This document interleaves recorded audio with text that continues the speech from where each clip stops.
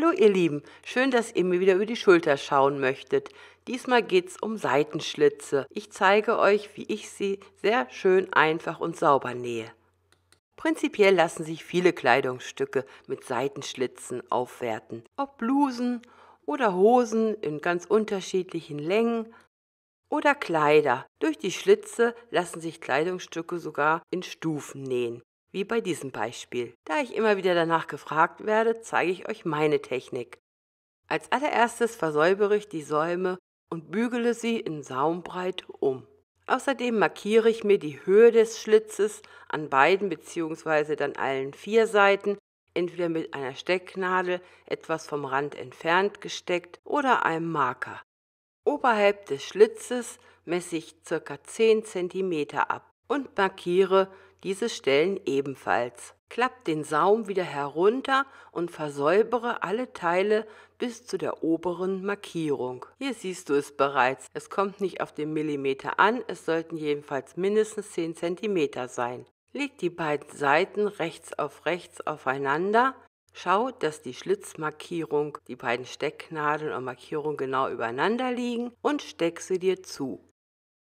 Die Seitennaht wird nun bis zur Schlitzmarkierung bzw. ab der Schlitzmarkierung geschlossen. Das Nahtende direkt am Schlitz sollte gut verriegelt werden. Näh ein, zweimal hin und her und dann fortlaufend die gesamte Seitennaht. Selbstverständlich kannst du bei Oberteilen auch am Ärmel beginnen und dann bis hin zur Schlitzmarkierung nähen. Denk aber dran, das Nahtende an dieser Stelle auch gut zu vernähen.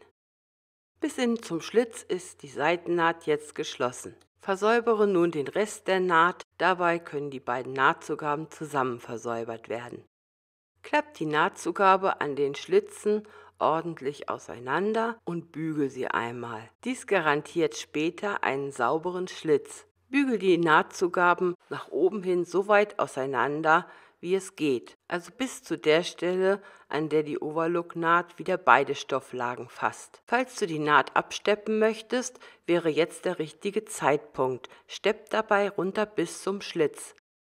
Klapp die umbügelten Kanten wieder auf und leg den Saum rechts auf rechts, also nach vorne. Steck ihn mit ein, zwei oder bei breiten Säumen drei Stecknadeln fest. Dies wiederholst du entsprechend an allen Ecken. Jetzt nähen wir nur den Saum senkrecht fest, genau in der Linie, die wir vorher gebügelt haben. Beginne dabei an der Oberkante des Saums, dann fasst die Nähmaschine besser und nähe bis ganz knapp vor die untere Kante. Die Stecknadeln können entfernt werden. Hier siehst du noch einmal die kurzen Nähte. Damit die unteren Ecken sehr schön ordentlich werden, schräge die Ecke Richtung Naht ab. Lass ca. 1 mm stehen. Ebenso wird die Nahtzugabe des inneren Saumes eingekürzt. Schneide an dieser Stelle die Versäuberungsnaht ab, also der Saum, der später innen liegt. So werden die Ecken schön flach und akkurat. Jetzt kann schon umgekrempelt werden, die Ecken formen sich fast von alleine sauber aus und ein schöner Schlitz ist entstanden. Durch die vorherigen Bügelschritte geht es wirklich einfach, diese sollten wir uns nicht sparen.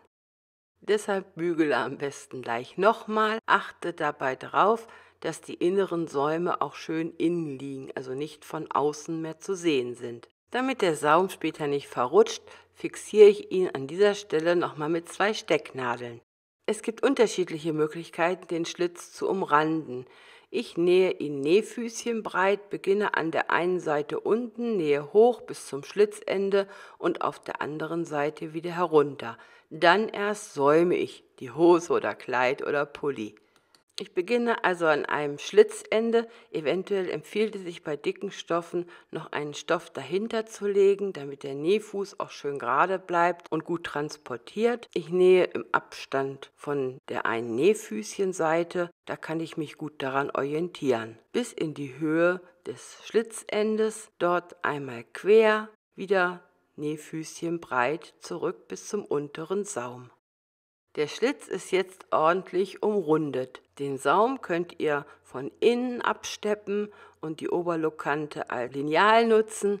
Ich steppe aber von außen ab und nutze die Markierung auf der Stichplatte als Lineal. Der Saum ist umgenäht und der Schlitz fertig. Allerdings ist das Schlitzende durch unsere Bewegung manchmal etwas strapaziert. Deswegen übernähe ich die obere Kante nochmal mit einer schmalen Zickzacknaht. Hübsch sieht an der Stelle auch zum Beispiel ein kleines aufgenähtes Lederdreieck aus. Euer Kleidungsstück ist jetzt fertig. Alles sieht wirklich ordentlich und sauber aus. Die Ecken sind schön flach und auch von innen ist alles prima. Probiert diese Technik unbedingt mal aus. Es sind wirklich pro Kleidungsstück nur ein paar Minütchen mehr und so Schlitze machen wirklich was her. Wie hier zum Beispiel in meinem Poloshirt. Sie sind dabei auch bequem, um die Hände in die Hosentaschen zu stecken, was ich ja sehr gerne mag. Oder wie hier an einer Dreiviertelhose, dort geben die Schlitze natürlich auch im Bereich knapp unter dem Knie die nötige Bewegungsfreiheit. Dies ist übrigens unsere Winzbraut hier in Wilhelmshaven. Sie steht dort nicht ohne Grund.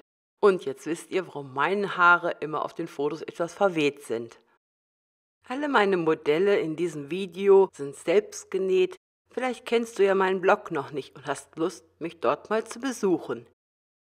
Den Link zum Blog und zu allen verwendeten Schnittmustern findest du wie immer unten in der Beschreibung. Vielleicht arbeitest du mit einer anderen Schlitztechnik oder hast dich bisher noch nicht so recht herangetraut. Probier es einfach mal aus. Liebe Grüße und bis zum nächsten Mal, Sabine.